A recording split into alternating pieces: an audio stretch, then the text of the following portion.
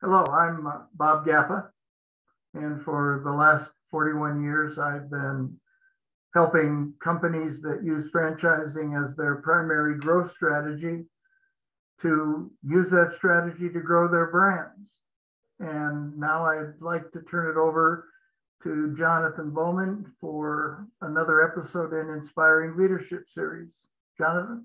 Thank you, indeed, Bob. It's great to have you on the series. And you were recommended by John T. Hewitt, who we had on recently. And he, he owed, he said, a lot of his success to your wisdom and your advice. So the whole point of this series is to pass on to people tips, advice, experiences, things that have gone well, things that haven't, and, and what you've learned from them. And you also, like me as a consultant, are in the honored position of seeing a lot of different firms and what they do and what they don't do. I think 1,650 brands you've helped use franchising. So you've got a wealth of experience of what works and what doesn't work, and both in human behavior and in organizations. So tell us a bit more about um, some of the things you've done in your life, and then we'll go back to childhood and what shaped you. But just give us in a snapshot of a few minutes just some of the different things you did, because I understand you also qualified as a Catholic priest. Am I right, Bob?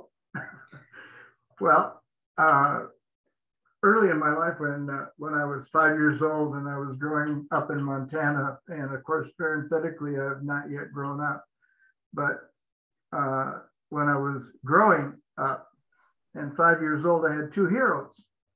One was Gene Autry, because I was in Montana, of course, and the other was my uncle, who uh, was a Monsignor, a Catholic priest for a diocese in Minnesota. And I admired him and uh, all the other uh, religious people that were in my family on my mother's side. Uh, and so I wanted to be, in five years of age, I wanted to be a cowboy priest. And I had uh, a, a, picture of, uh, of two guns on my side, and I was going to ride the range and uh, save people uh, and so that was a, the beginning of, of an influence in my life. And, and so uh, I did follow that, that commitment of being at five years of age. And I did go to the Catholic seminary out of high school at St. John's uh, University and Monastery in uh, Minnesota. and uh, I stayed there until I was uh, one I was three months away from what are called final vows. And uh, kind of a, a, humorous anecdote in the Catholic Church, uh, they don't have a free agency. And you can't study for a diocese that you choose to, to. You study for the diocese that you were either born in or you were in when you decided to go to the seminary. So the diocese I was studying for was Eastern Montana. And when I got into graduate school and started studying German existential systematic theology, I decided I wanted to be a, a college teacher. And uh, it didn't take me long to realize that in Eastern Montana, there weren't any Catholic colleges. And so the only choice I had was uh, to leave the study of the priesthood, which I did, and become a college professor, which I did. Wow. And uh, the interesting part about that is that when you study to be a Catholic priest, and when you're five years old, you declare that you are going to be one, it's a big deal for your family. Mm. And uh, I dialed my parents and I said, put the phone between the two of you. And I said, uh, I have decided I'm going to leave the seminary and stop studying to be a Catholic priest and become a college professor instead. Then there was a little bit of silence. and my father said to me, How can we help you? That's nice. That's really nice, isn't it? And that's a great example of, of good leadership, isn't it? How yeah. can we how can we help you? Not, uh, there not, was there, not there was never never in my life anything said about that decision yeah by my parents accept support for the one i made to move forward that's fantastic bob and and as well, for 41 years, you you ran Management 2000. You were the founder and CEO, um, and you've you've also really been helping with OD and design uh, for customer-centric brands and franchising.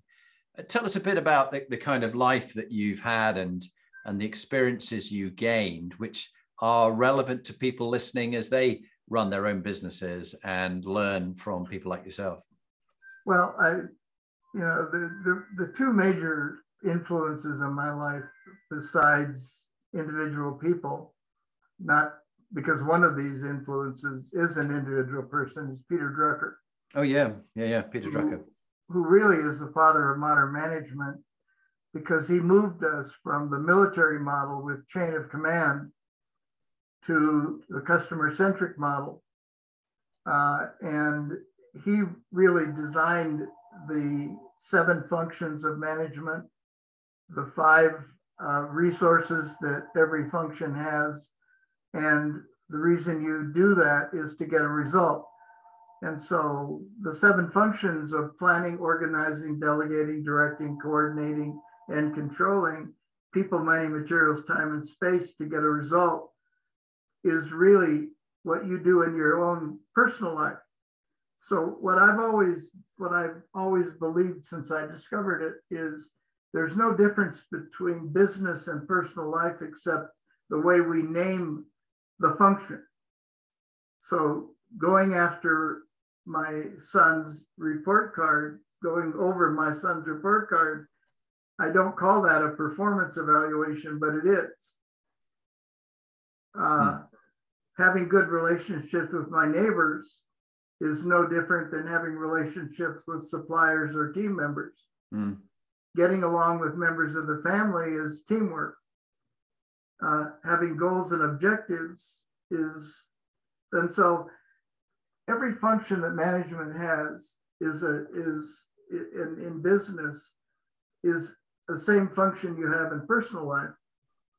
And later I discovered that while there are 12 systems in the human body, all of which have to work together in harmony, or we can create illness or whatever, but health health is all about being respectful for our 12 systems. And in business, I discovered ironically that after studying it for 10 years, that there in my mind, 12 systems in business. And so when we when we when we assess a client, the first thing we ask them is like like a doctor would do to a human being. I consider myself a franchise doctor. Yeah. And I say, can I assess your business in these 12 areas?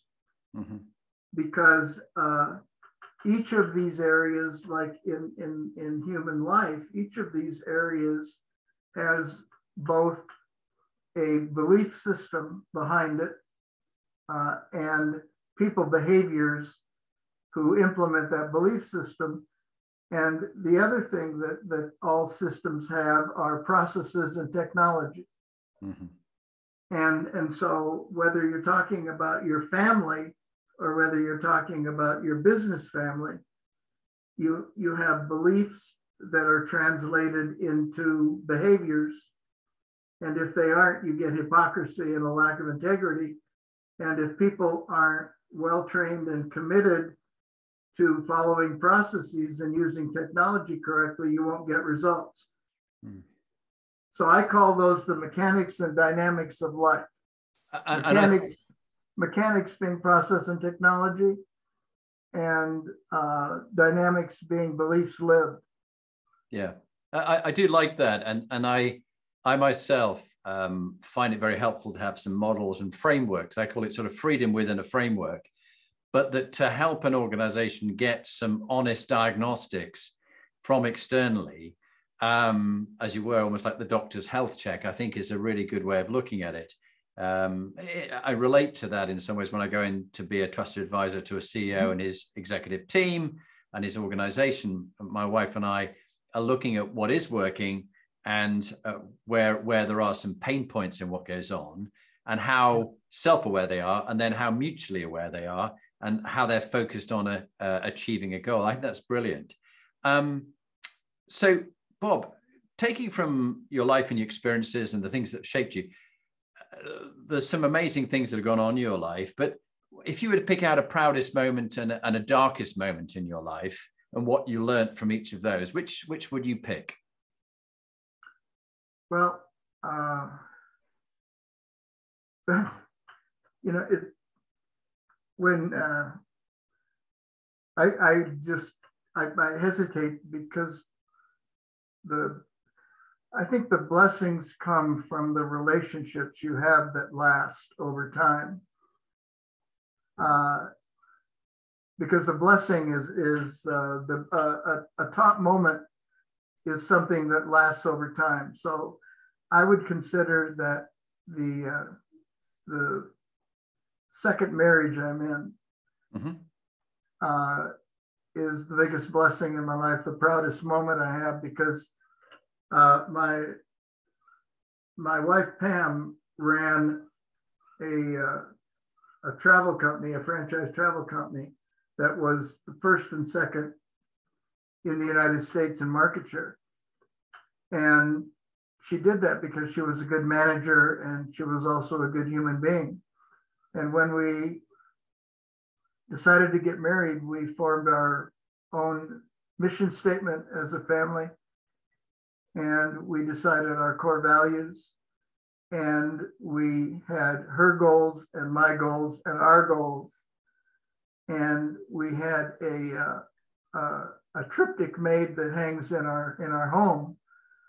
And on the left hand side was my life, which I called chaotic, and on the right left was hers, and in the middle was symmetry. And so we called our relationship and our getting together as husband and wife chaotic symmetry. I love it. I love and, it. and and that's been what I've tried to do all my life was help people create symmetry out of chaos. Mm. Well, and and and I, I I I think the the darkest moments probably yet to come. Yep. Uh, I'm I'm sure I haven't hit my darkest moment, but the probably a, a way to to put that instead of darkest is challenging. Yep. Uh, when I started the company in, uh, uh, I borrowed $65,000 41 years ago, and it had to be secured by the person who secured it for me. So I felt a pretty good obligation. And right after I started the company, we had a recession. And uh, and then I was in Houston and we lost 42,000 jobs overnight and I had $75 left. Wow. And uh, and, a, and a $65,000 debt accruing interest at prime plus two, and prime was 21. And so with that $75, uh, you get a moment of integrity. And I thought, well, I could go get drunk or I could put an ad in the Houston Business Journal so I said to the Houston Business Journal, how much of an ad can I get for how long for $75? And they said, you can, you can have a, a one insertion and it's small. And I said, okay. And it said, three days of free consulting. And I got one call and it formed a, a long-time lifetime relationship with somebody who was also in franchising. And together, when we got synergy with what we did, we nailed down a quarter million dollar contract and saved both of us. Wow. Wow. So the darkest moment turned into the brightest moment.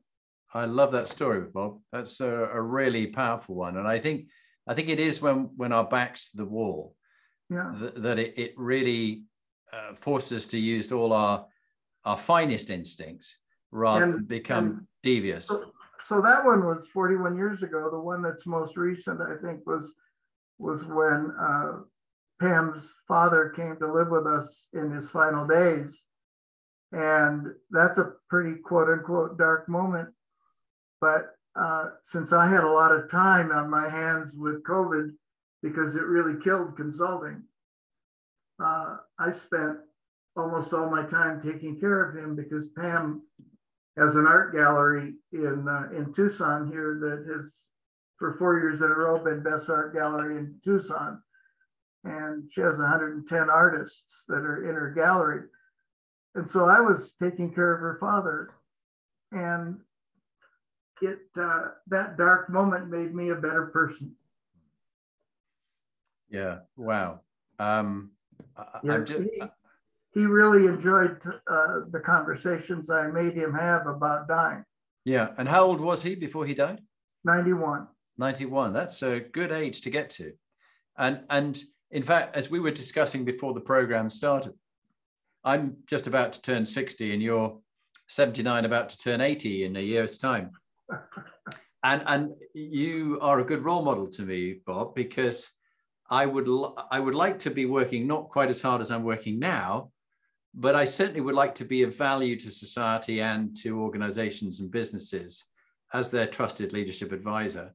And um, it, it's good to see you still thriving and in good form. And um, it, it is important how we look after ourselves. Sadly, my uh, my late mother-in-law, who we looked after for three years before she died, and she died sadly with Alzheimer's, heart disease, lung disease, and cancer. Uh, but she was a lovely, special little Irish lady um, and died at about 76. But it just made me realize you don't know when your number's up. You do know you're going to die. Yeah. We shouldn't avoid that. People talk about passing on or we've lost him. It's always like, is he in the garden still? I mean, uh, has he just got lost in the bushes? I mean, what's happened to them? No, they've actually died. And I, I learned to be that brutal from my brother, who's a surgeon, and um, talked about uh, last year that, that our brother David, who's 63, when he died, he said, David is going to die. He's been diagnosed with metastatic cancer hmm. and he's got about eight weeks to live. He will die. You need to face that. We're not going to lose him. He's going to be dead. And, and it's quite brutal, but I think it actually helps us come to terms with things rather than be in denial about it. Um, I don't know what thoughts come up as I share that with all your background and training and experience in life. Well, you know the uh, yeah, I'm I'm going to let that that uh, sit for a minute and and let you ask me another question. Yeah, I, I will do. Okay, thank you. Um, when you started out in life, when you were 16, knowing what you know now, and you have undoubtedly accumulated a wealth of wisdom and experience. What advice would you go back and give the 16 year old Bob Gappa about this matters? Focus on this, but don't worry about that. You're really, you're going to sweat too much about that, and it really doesn't matter. It's small stuff. What would you advice would you give yourself, which is still relevant for other people who've got kids at that age, I'm sure? Well, it, it uh, the the interesting thing about that is uh, that five year old awareness I had that I had a mission in life mm-hmm. from role models that early was so fortunate because I never had any other thought in my in my life other than I was going to be a priest and I was going to help other people. And I, I, I it's still part of me. Mm. And so I, I, I never had, I, I, if I could give that advice to somebody, I'd, I'd say, as soon as you can figure out something that you want to do, uh, it doesn't matter what it is. You know, I was watching the Olympics last night, and the young woman who won the gold in skate in uh, in snowboarding knew what she was going to do, and she said when he was like ten years old or whatever the right age is, they asked her, What are you going to do in life? And she said, I'm going to win the gold.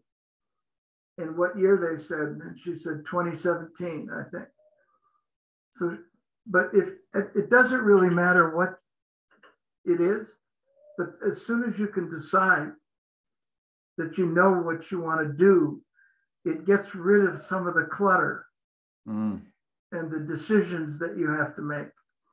Because you know, if if everything's a priority, nothing's a priority. Yeah. And and and so I I would avoid I would avoid distractions. Yeah. That's, that's, that's what I would tell myself. I had too many distractions. Great wisdom. Great wisdom, Bob. Thank you. Let's go round the inspiring. That, that takes me on nicely to the next bit. Let's go around the inspiring leadership compass. And, and this is from some of the work that my wife and I did around what we were interested in what makes high performing leaders and teams. And of course, there are hundreds of thousands of leadership models, books and shelves and shelves of libraries full of them.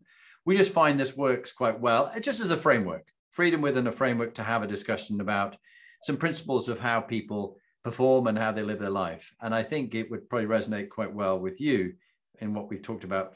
about. So the first one is uh, what I call the, the true north part of the compass, uh, which is your moral quotients, your integrity, your values, your beliefs, your principles you live by, what you won't do, what you will do. If you were to pick three things that you'd say have mattered massively to your success in life, which values have those been, Bob? I would say uh, personal goals drive business goals, not the other way around. I would say that you have to have an unwavering commitment to results. Um, and I would say that don't make something matter that doesn't matter. Uh, that last one seems kind of trite, but when I look back at every single argument I ever got into with Pam, my my wife, it's because I made something matter that didn't matter. Mm. And that's a waste of time, energy, and relationship. So, and uh, and uh, oh, I just thought of what I'd tell myself as mm. a 16 year old. Okay, go on, let's have it. because this is funny. And I would, equity. I would tell myself that equity is not the name of a rock group. Okay, it's important. And then I would tell myself, learn the value of compound interest. Mm. When Andy, the son I inherited when I uh, married Pam, at, on his 16th birthday, I gave him an, an, an, what I called Andy's wealth building spreadsheet, where he could plug and play how much he was going to earn, how much he was going to set aside at what interest rate. And then he could see what it might look like when he was 65 or 70. And I think he would say that he may have started paying attention to it when he was 23. Wow. That's, that's... The gift, the, the, the gift of compound interest is is a is a real gift, as anyone knows who read Rich Dad Poor Dad. Yeah, the, the, the one pennies. Yeah, v- very powerful. And in fact, you've made me remember a, a mnemonic, wombat. Um, back to your number three. Wombat is a waste of money, bandwidth, and time. so, yeah. so don't, don't spend time on wombats. So I think that's, I love that one, Bob. Um, from MQ to PQ, PQ meaning and purpose, what gives your life meaning and purpose? Why have you done what you've done? What's been your calling, your dharma, your vocation? What would you say about what gives your life meaning and purpose, Bob? Uh, helping. Mm. I think that's the one word that would say is my purpose in life is helping others help themselves. Mm. And one of the keys to that is knowing the difference between uh, thinking and thoughting. Uh, thinkers connect dots, thoughters don't. And so people say, what, why, if I ask you a question, why'd you do that? They'd say, well, I thought and that's because they didn't connect dots. Did you, can I just be clear there? You said the difference between thinkers and plotters. I didn't quite hear. Thoughter, thinkers and thoughters. Oh, thoughters. Yeah, yeah, okay, yeah, we did. T H O U T A. Yeah, thinkers and thoughters. Uh, and also, uh, if if we if keeping commitments is really important because obviously if you let yourself ever say, well, just this once. I made a commitment to myself to do this or not do this. And you say, well, I'll let myself do this just this once. Then it's not a commitment anymore. Hmm. And I, I think that uh, another thing that I've discovered is really important to me, and, and I say it a lot, and people might even say who know me, he's going to say that, is words matter. Mm-hmm. Uh, we, we've lost a lot of reverence for words. Mm-hmm. It's, it's interesting and always has been that, that Peter Drucker never talked about communication in his seven functions of planning, organizing, delegating, directing, coordinating, and controlling. Because if you do those, you have communication. Mm. Uh, and most people, I think, do not know how to measure the result of what they're doing. I, I, I think the fact that we have to do lists rather than to be done lists tell a lot. Mm. You know, I think very successful people begin the day with what they want to accomplish, not what they want to do. Mm. And uh, one of the most telling things to me when I go into a company is to just walk around and ask people what they're paid for. And when I do that in a in a not so well run organization, people will give me an activity. Uh, I'm paid to answer the phone. I'm paid to file. Uh, I'm paid to go get this. I'm paid to deliver that. I'm paid to build this. I'm paid whatever. And if you say to somebody, well, what if we can't find the file you filed? What if what if you aren't able to successfully answer the telephone and the question someone asks you? And so you, you begin to make people aware that it, the only thing really in life that matters is results. Mm. And, and once you know the result that you're that you want to accomplish, whether it's in business or non-business, you can reverse engineer your priorities to get there. Mm. Uh, but most people do not do that, and so they end up um, not having the financial resources to live when they hit 70. Yeah. Yeah. And, and that that takes me nicely on, Bob, because I think that's beautifully said that, you know, not having the resources when you get to 70, here you are about to come into your uh, ninth decade. Yeah. Uh, yeah. And you are looking in great form. And um, while we joked before that you haven't always looked after your health as well as you could, you did say that your mother got to 103 and your father to 75, I recall.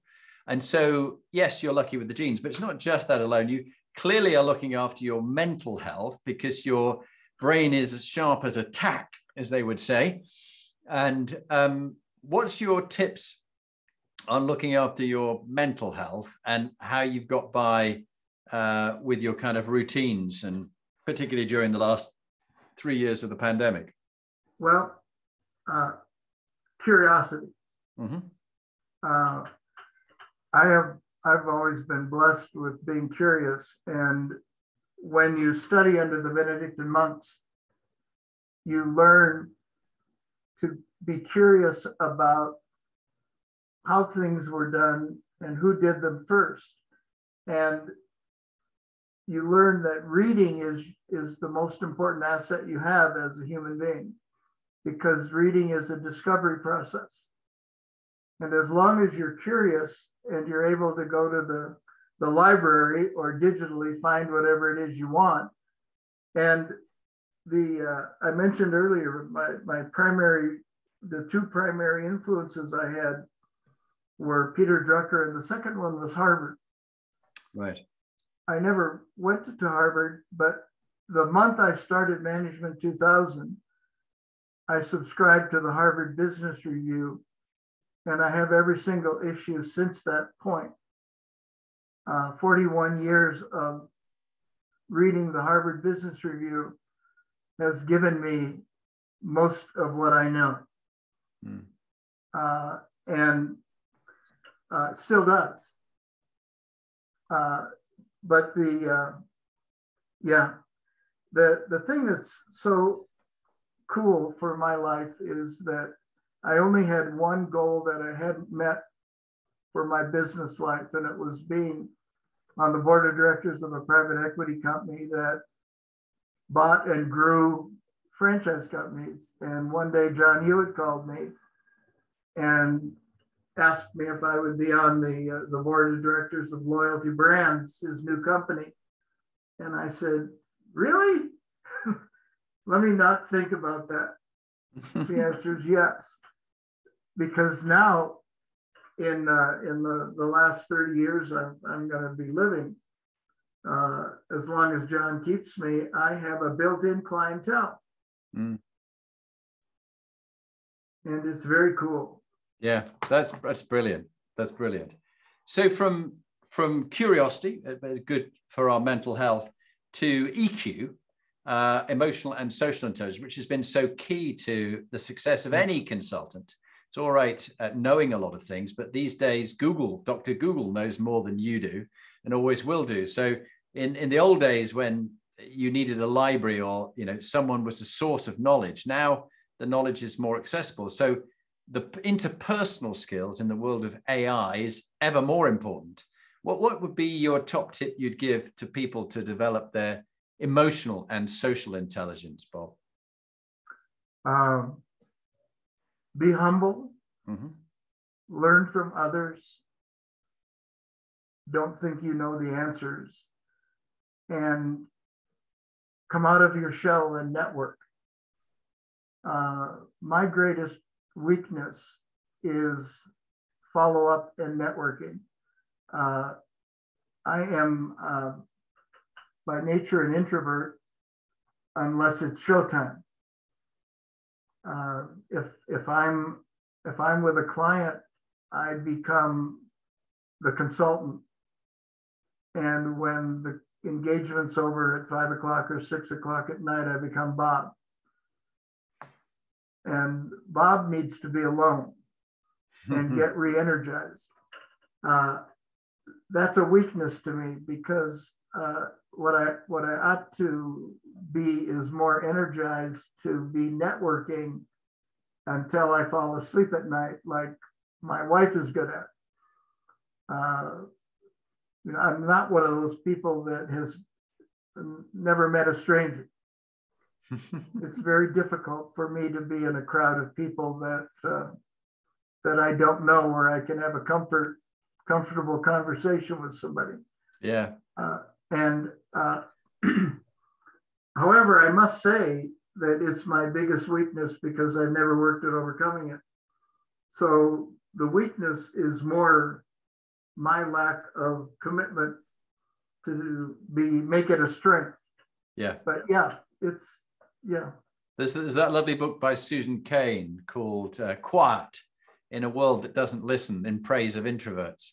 And actually, many of the leaders that you and I have come across and consulted to who run businesses are by nature introverts, though it is the big American sort of dream kind of image of the salesman, extrovert out there, loud, kind of in your face, walk on fire, this kind of stuff, which actually doesn't fit so well when you look around many of the company boards and teams that I'm in.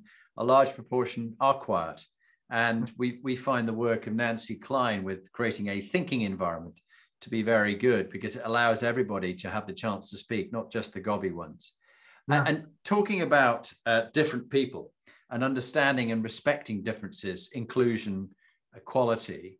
What about what I, what we call sort of cultural intelligence, collective intelligence, and how you've learned to get on with people who are so very different? We were talking about politics, you and I, and about uh, people accepting differences and coming to terms with uh, the legacy of what we've done both here in England uh, and in America uh, with the indigenous populations and how we've treated people. So I just wondered what your your view was on what you've learned about developing greater cultural intelligence for people who are different from us. Yeah, it's again the, the the blessings that you get in life. You sometimes don't realize them until you many many years later. when when I was in uh, in grade school and high school in Billings, Montana, you'd never think this was the case, but my my very best friends, uh, one of them was the great great grandson of Sitting Bull. Wow. 100% Native American. Another one of my good friends was Benji Sanchez, clearly Mexican. Another one of my, my good friends uh, was gay. Mm. And that's not a thing that was very common to know about in 1957, 58. Mm. Uh, and uh, and when I when I went to study for the priesthood at the uh, at the Benedictine monastery, there were 250 monks, largest Benedictine monastery in the world, and they assigned you when you were in the seminary what they called the spiritual director. It was actually somebody to get your you know what together. And you had to meet with this person once a week for your entire life. So for 52 weeks, for seven years, I met with the same person. And he was African American, he was a monk. And the monastery was full of people with diverse backgrounds from around the world who were monks. And so uh, I was blessed with being surrounded by diversity and inclusion without knowing it. Mm. And so in my in my first job as a as a college professor in Florida in a small Catholic college in, in the middle of Florida, Dade City, uh, I came across my first sign in the doctor's office that had colored over one door, and the movie theater had colored for the balcony. And I never saw African Americans, or as they were called, other words in those days, after dark. And I ran in, I ran into that for the first time. And then during the Vietnam War, which is when I was teaching in university from 67 to 71, uh, I, I watched uh, uh, Kent State happen when actually a, a, a university student was killed. Uh, I had one of my students who committed suicide.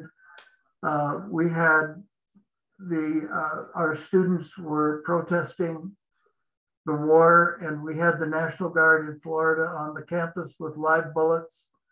And I got involved in making that at least not end up with death and violence. So, uh, and then I got involved in, in the women's movement, and my awareness kept getting bigger and bigger and bigger and bigger that uh, we're, uh, we're, we're afraid to let people who aren't like us into our pool of opportunity because we're insecure that we will be able to compete if the pool is made too big. And so we're scared. We have fear of ourselves. And that fear and that insecurity leads us to not be in favor of things like diversity and inclusion. Because the pool gets bigger and bigger and bigger and our opportunities get fewer and fewer and fewer. That of course is just the opposite of true. Mm. and and history has proven that. Yeah. Uh, but so i hope that was relevant. It, highly relevant. And um, you know relate this in my own experiences i grew up in yorkshire in um, in england that uh, you know at school my friend was Mohammed and he was the Pakistani that the others go oh he smells but he was my best friend. And um, when I was at Sandhurst um, there were the white officer officer cadets and then the overseas officer cadets. There were I can't think of very many of the UK based officer cadets who were colored or black or Asian or, or different or gay. Though in my platoon of 28, one of the officers uh, cadets was gay, uh, though he couldn't come out about it at the time, but he did later on. And I met up with him uh, when he'd just left the army and he was with his boyfriend and could talk about it then.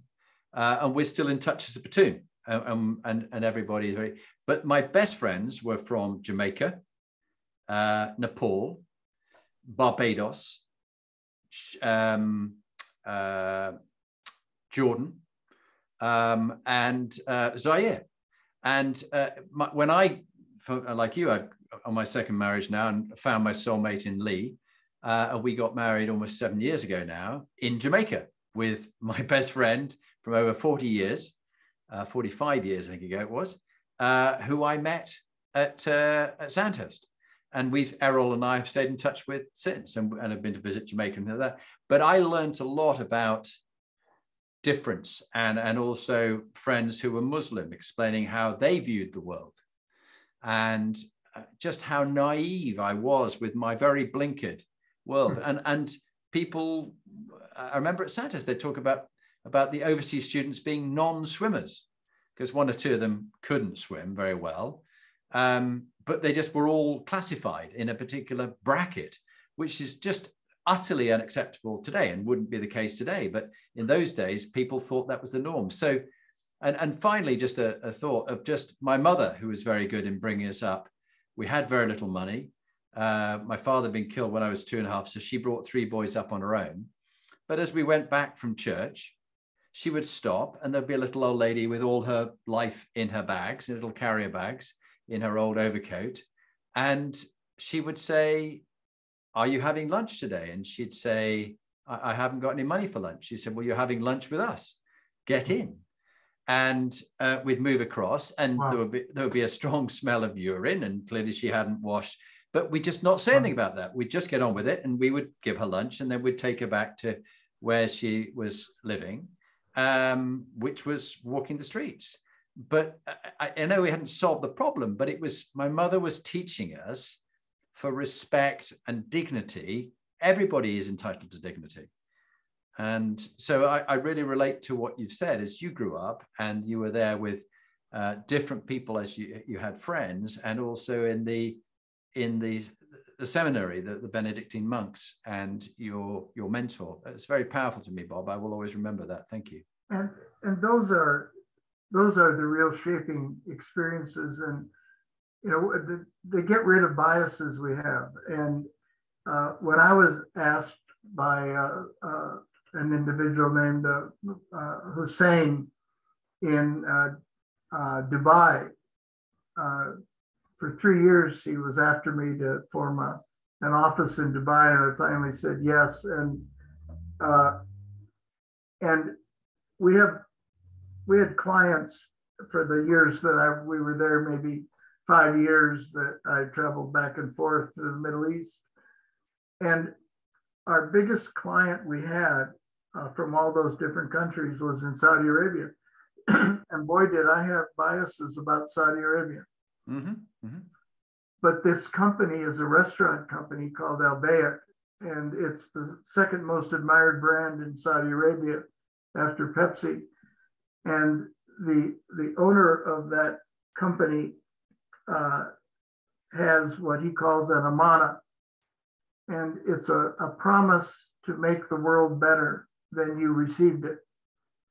And he has a company that is, according to Gallup's definition, a great place to work mm-hmm. and a great place for customers to spend money and they're now franchising around the world. Uh, and they uh, they just received recognition from the uh, 2020 Expo, which was delayed because of COVID. Yeah. In uh, in Dubai, uh, as the the best uh, food organization in the entire expo.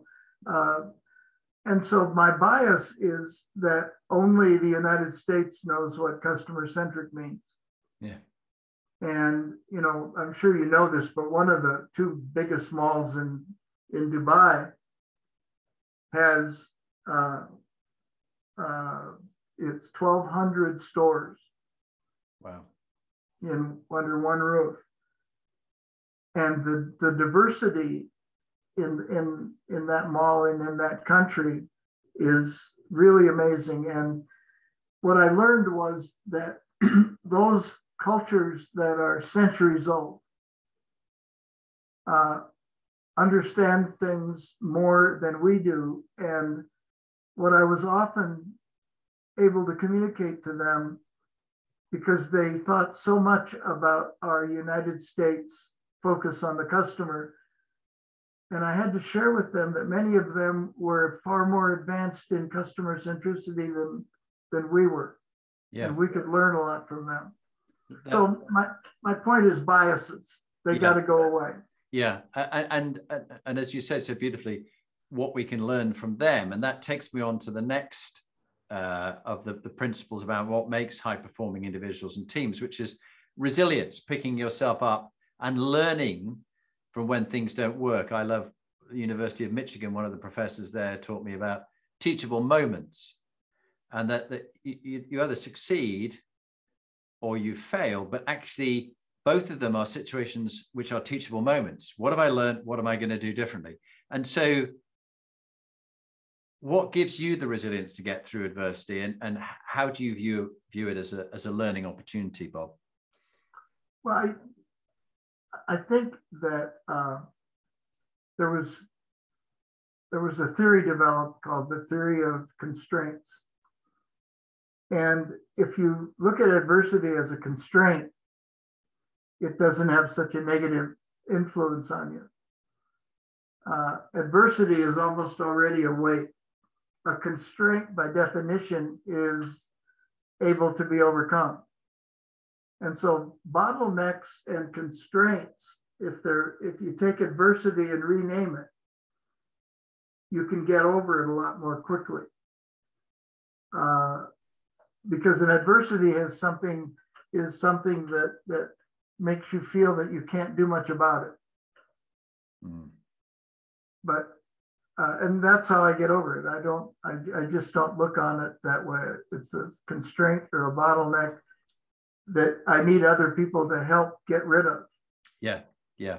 And I uh, love the work of the Stoics, um, Marcus Aurelius, Seneca, Epictetus, and you being a professor and a, a reader widely and deeply will probably appreciate it too. And I found um, Ryan Holiday has captured some of the thinking. And The Obstacle is the Way is one of his books, which really picks up on this theme about the theory of constraints, that it, it's just an obstacle. And actually, the obstacle then becomes the way that, that from what's gone on, it, it, it gives you something that maybe one door closes, but another opens. And I, and I do like that idea that controlling the controllables, what can you control? Your own thoughts and your own actions but I can't control you, Bob, and what happens in this call and, and where it might go. I can manage it, but I can't control it. And I think acceptance of what is and actually aspirations to improve things. And as you said with the Saudi firm, leaving things better than you found them is so true, which which is really part of legacy. And I'll come back to brand in a moment. But if we took legacy which is about stewardship and leaving things better than you found them. How would you like to be remembered uh, from a business sense, uh, Bob? And how would you like to be remembered by Pam and your family and your friends? Well, uh, I'd like to be remembered by somebody who said, he made me think differently and when I started to think differently, I accomplished more of my goals and results. Mm. Uh, one of one of the, the big focuses I have is helping people know the difference between accountability and responsibility. Responsibility to me is the ability to respond, and it takes skills, knowledge, ability, training and development to be able to respond to something. Being accountable means that you take you you're you're going to make sure that the result occurs the way it was designed to occur. And when you said I can't control, control you, Bob, it, it made me remember that uh, what what I like to say is I make my decisions after you make yours. To me, that's leadership. Is when when I can when I can inspire you to inspire yourself to make a commitment to help us as a team achieve and you make a commitment that I don't have to watch you to make sure that you're going to do your part, then to me that's leadership. My to me leadership is influence. Mm. And the way I influence you is to make you think differently and to make you own what you're accountable for. And because uh, you're right, I can't control you but control in Drucker's in Drucker's thinking is uh, the checkpoints that show progress toward plan. And uh, and so uh, I would say that I would like people to say he made me think differently and more correctly about how I needed to think to make the enterprise successful. Um, as far as Pam and, and the family, um, um, he cared. Hmm. Yeah, that's lovely. Because I always say, sometimes I actually say to people, I can't care about everything. And so my care button is sometimes off. Yeah. I can I have to choose what I'm going to care about. Yeah. And yeah. if I if I like I summarize my commitment to my wife this way. My job is to make her life easier. Yeah. That's a lot. Uh, my life my my relationship with the son I inherited when I married Pam is to challenge him to be the person that he can be and isn't yet. Mm. Um, and he and I are in business together, and and so that's my job as a resource to him, is to challenge him. Yeah, yeah, that's brilliant, uh, brilliant. Yeah, I love it. I love it. Uh, and Bob, if we just jump back to the other, the the, the penultimate of the eight components of what makes uh, inspiring leaders and teams, which is brand. Uh, reputation, image, and impact. What people say about you when you're not in the room. Clearly, this is your expertise area, so you could speak for hours on this. But if you were to pick a top tip on personal brand and, and how um, you know you learn from 360 or whatever else about what people think about you and, and how you're respected, what would be your tip on personal brand? this is really cool. Okay, so because I do think a lot about this concept. To me, you have to make a distinction between a brand and a well-known company. And to me, a brand, and this isn't my term, it's a term from Saatchi and Saatchi, the, the marketing company, is love marks. Yep. And you know, uh, uh, Kevin Roberts, who wrote Love Marks, was on yeah. the podcast. Do you, have you, have you listened, oh. listened to him? He's really good. I will, yeah. And so a brand, a, a brand is something that people want to experience whether they have or not. So if you fly a lot over and, and you fly internationally and you've never flown Emirates, you want to. If you've never stayed at a Ritz Carlton, you want to. Mm. Uh, when I was in high school, and, and drinking beer illegally, you wanted to have Coors. And, and so a brand is something that you you want to experience. And if you get to experience, you do it over and over and over and over and over. And the experience in, in a brand, and the same thing is true with, with a person. And so here's my summary on branding. A brand's goal is to make the customer want to come back. the operative word is want to come back. So my theory on brand is, and the same thing is, is true with people, but I'll get to that in a moment. In, in, in, in branding, the customer gives you emotional currency. I'm sorry, excuse me. The customer gives you financial currency, and you, the business, gives them back emotional currency. And emotional currency is another way of saying how I feel before, during, and after I do business with you. And, and so if, if I, as a brand, can make you want to do business with me, enjoy the process of doing business with me, and when I'm done, I say, I want to go back and do it again.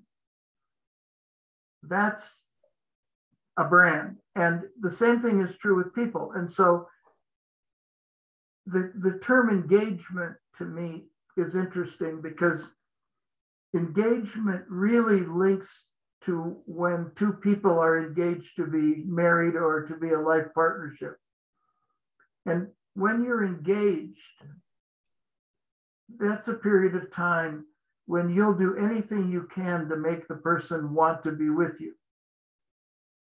And it's the same thing that happens with a customer centric and and often the thing I, always say this, it's kind of humorous.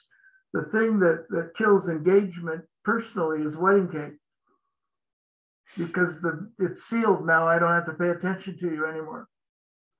And and so Pam and I, like many people, continue to call each other boyfriend and girlfriend. I like um, that. I like that. Because if if if I treat her as my girlfriend, it's different than if I treat her as my spouse. And I hate to say that, but it's true. Yeah, that's that's very good. I love that. And so, and and so if I think the penultimate thing in is if I have a choice, and Amazon is a good thing. I sometimes go to other websites and then go to Amazon after I've been there because the goal of Amazon is to create a company that people can't live without. Yeah. And I would like to be a person that people can't live without, but I know that that's not going to happen. that's very good, Bob. Very good. Bob, we've got just a few minutes left. So let's do some quick fire on two or three questions. Um, I'm going to ask you about executive teams and dysfunctional humans and uh, what your advice is about turning around dysfunctional teams. I'm then going to ask you your favorite book on leadership or a book you'd recommend people listen to. And then we'll give you your two minute top tips uh, with your leadership tip. So, firstly, um, exec teams. What's been your advice about turning around um, dysfunctional teams, dysfunctional humans? Uh, to create a functional team, you, you have to have a, a vision and you have to have the strategic imperatives, and then you have to have people who contribute to those. And let me give you a quick example. In, in loyalty brands with uh, John Hewitt, we have a vision to open a thousand locations by 2023. To accomplish that, we have three major priorities locations open, happy, successful franchisees, and fanatical fans. Every person in all the verticals we have and in our support team within loyalty have to be doing something to contribute to each or one of those or all of them in order for us to achieve the vision. Now, within that, if we have people who aren't skilled at something, we'll find another place for them until and when we find that we have no place or that they're toxic. And getting rid of toxic systems, because sometimes systems are toxic toxic systems and toxic people. We have to pay attention to those two things all the time. And I've found that the difficulty is in helping people become aware that they're toxic and didn't mean to be. Hmm. A lot of my career has been doing that, helping people understand that they have unintentional consequence, unintended consequences with their behaviors that they never intended. And some people can change that and some can't. Yeah. That's, uh, yeah. No, that's really good. Uh, I, am just thinking of one of my clients and a very influential member of that exec whose unintended unintended consequence of their behavior is they create yeah. a psychologically unsafe place where they belittle others and don't treat them with dignity. Um, thank you for that. So, penultimate question is about a leadership book that you would recommend the listeners around the world in 55 countries, 185,000 of them or more. Uh, what book would you recommend to them? I, I, I think that if I could, there are, are two. Okay. One is The Effective Executive by uh, Drucker. And uh, the, the other one is uh, a book uh, entitled Helping and well, uh, I, am 79, the author went away.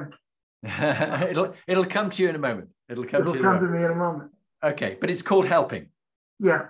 Yeah, that's okay. We'll find it.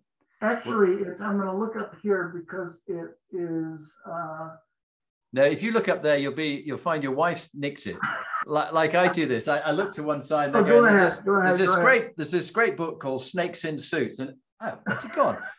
Lee's borrowed it. Well, I've got this other good book, which is like uh, Why CEOs Fail, and I go, oh, Lee's borrowed that one as well. Um, I know. I know. Hey, look, don't worry, we'll find it. Go ahead. Go ahead. So, um, Bob, if you would, uh, for the final two minutes, perfect timing, if you would uh, introduce yourself again as you did at the beginning, just say who you are and, and, and what you've done and do now, and then give us your top tip, and we'll then wrap up the program and I'll chat to you when we finish recording. Can I have more than one? You can have more than one. Number one, I would say, is personal goals drive business goals. Mm-hmm. If uh, the second one would be don't make something matter that doesn't matter. The third, I would say, is live the life you sing about. The fourth would be keep your commitments. And the fifth is if everything is a priority, nothing is. Well, that's brilliant. Bob Gappa, thank you very much indeed. And that wealth of experience that you've brought with your 79 years of age is phenomenal. I know that uh, John values you very highly, and Loyalty Brands are very lucky to have you on their board. And uh, thank you for making the time to share your wisdom and experience with us all. Wow, that went fast. Thank you. My pleasure.